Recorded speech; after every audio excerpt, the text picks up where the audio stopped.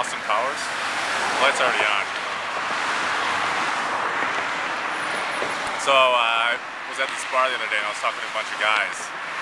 We're all drinking, you know, just having a stupid guy bar conversation. And it's a pretty nice bar and someone's like, this is the best bar that I've ever been to. And one of the other guys was like, oh, fuck off.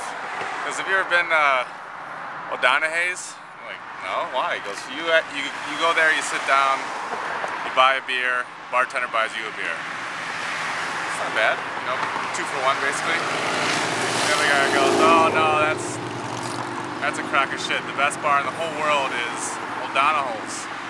Like, really? What's so great about that bar? And like, well, you buy one drink, and the bartender buys you two drinks. Like, oh, that's not bad at all. Three for the price of one. And then finally, this one guy was like, no, you don't know anything. it was actually that guy down there. He was oh, the yeah? one that told us, yeah.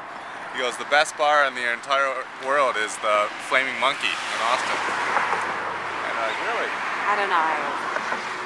He goes, why is it so great? He goes, well, you go there, you sit down and they buy you a beer, and then they buy you another beer, and then they buy you another beer, and then after you have three free beers, they take you in the back and they get you laid. And everyone's like, what? Really? There's like, no way. He goes, did that really happen to you? He goes, no, it didn't happen to me, but it happened to my sister. Hilarious. I don't know how to tell jokes.